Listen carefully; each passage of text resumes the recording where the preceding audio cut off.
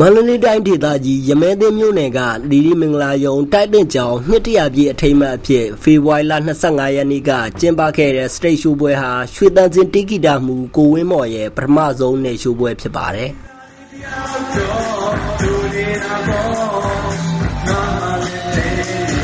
ကိုဝင်းမော်ရဲ့ player တွေအားလုံးလည်းဆုံးဖြတ်ကြပါတယ်ဆွေးတမ်းလို့လက်ခုပ်တယ်ကြောင်းပါတယ် ကိုဝင်းမော်ဟာ2009ခုနှစ်စက်တင်ဘာအရေးခင်းမှာပြည်ပကိုသတင်းပေးပို့မှုနဲ့ဖမ်းဆီးခံခဲ့ရပြီးအကျဉ်းထောင်ကနေပြန်လည်လွတ်မြောက်လာပြီးနောက်ပိုင်းရွှေလန်းစင်တိကိတာဝိုင်းနဲ့အတူနေရှိုးပွဲကိုအခုမှပြန်လည်ဦးစီးကျင်းပနိုင်ခဲ့တာဖြစ်ပါတယ်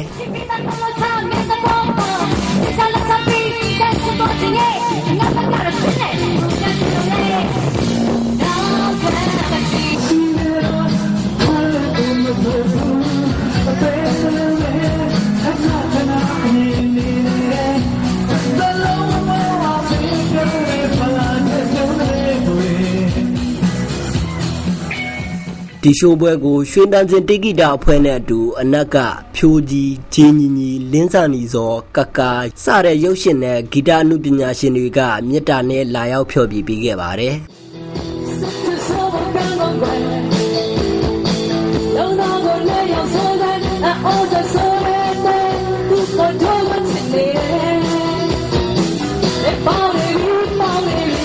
ည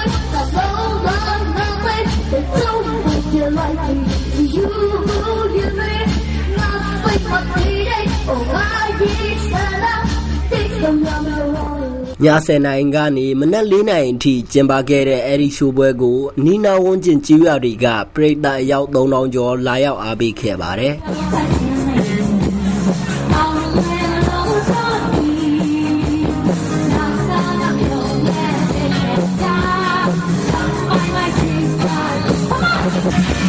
Tengo sus cartillas, sentamos por ahí.